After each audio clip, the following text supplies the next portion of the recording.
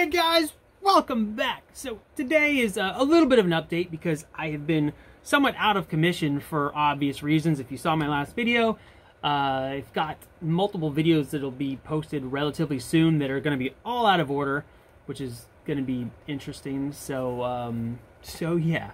Um, but I just want to do a little follow up with the uh, the mask video. So if you've seen my last few videos, I did a digital scan of this mask. Not a digital scan, I did a photogrammetry scan using just my cell phone, which I'm shooting this with now, uh, in a program called Meshroom.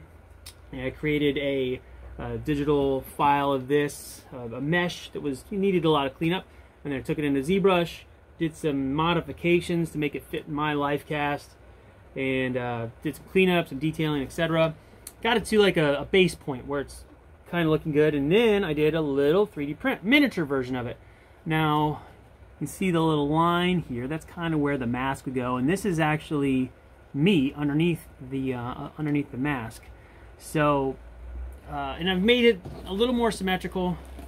Let me see if I can put this, ah, don't want to break it, like the same size-ish. Now one's obviously closer to the camera, so it's going to look weird, but came out pretty good. Now there were some uh, modifications done to this as far as scale. So like the nostrils had to come a little bit further apart because I actually scaled the whole head down a little bit, but I see out of the nostrils. So the nostrils are a little bit uh, further apart than they are on here, which uh, this one, the, this mask is is pretty big, so it'll you know fit on my head easier. But this one is going to be silicone when it's done. Again, full scale.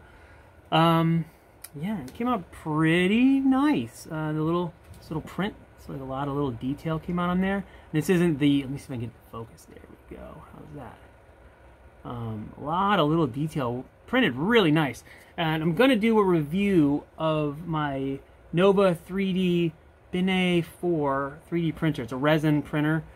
And uh, I'll have that soon in the next few days because I was literally waiting to finish this and then do that review. But I figured I would show you guys where this is at. So you can see there's kind of like a, a, a physical representation of that digital scan. So basically, scan, do some ZBrush, make a print, scaled print, but you know, you see that it can work. So if you're interested in, you know, mimicking an, a real life item and you need to digitize it and want to print it, um, you see a few videos ago my thing on doing Meshroom, and it's pretty freaking cool in my opinion.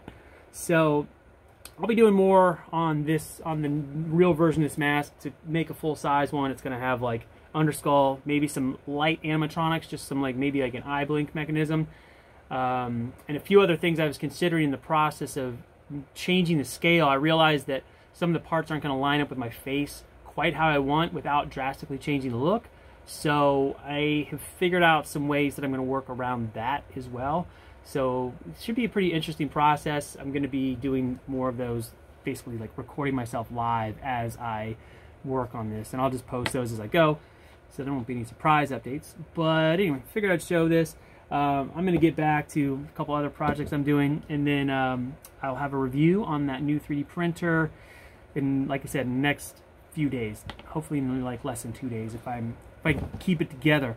And uh, yeah, some other videos to, updates, uh, video updates, other videos about just random stuff that I've been trying to piece together from, you know, heaps of clips. So thanks for stopping by. I'm going to get the heck out of here, and uh, I'll see you kids soon. Later!